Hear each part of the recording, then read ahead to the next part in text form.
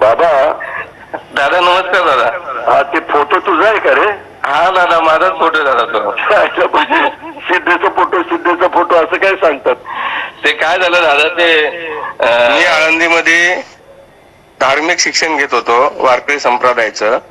त्यानंतर वडील म्हणले काहीतरी काम कर. म्हणून वडिलांनी मला रिक्षा घेऊन दिली आणि मी पिंपरी चिंचवडमध्ये येऊन रिक्षा चालवत होतो.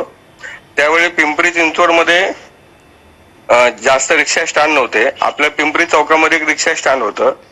रात्रभर प्रवासी मुंबई आणि इतर ठिकाणाहून पिंपरी चौकामध्ये यायचे. आणि मग रात्री त्यांची काही व्यवस्था होत नव्हती. म्हणून मग आम्ही सर्व रिक्षा चालकांनी रात्री पण प्रवाशांना रिक्षा सेवा उपलब्ध करून द्यायचं ठरवलं. आणि त्यातून आम्ही मग रात्राने रिक्षा स्टँड सुरू केलं. आणि मग सर्व रिक्षा चालकांनी त्या रिक्षा स्टँडचं अध्यक्ष मला केलं.